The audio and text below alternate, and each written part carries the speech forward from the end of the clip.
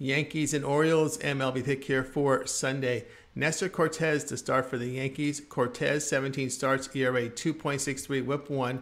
The left-hander is striking out 26%, 5.8% walks. He records 32% ground balls with 1.22 home runs per nine innings. A FIP of 3.56 signals a rise in ERA if these numbers hold. Dean Kremer to start for Baltimore. Kremer in eight starts, ERA 2.59, whip 1.32. The right-hander has strikeout mark of 18%, about 7% walks. Ground balls served at 34% with limited home run damage. His FIP is 3.59, which indicates a possible rise in ERA if these numbers hold. Orioles even this series after their 6-3 win. Baltimore has won 9 of 11. Their bullpen passed 10 games in ERA under 2. The play here will be Baltimore plus 170.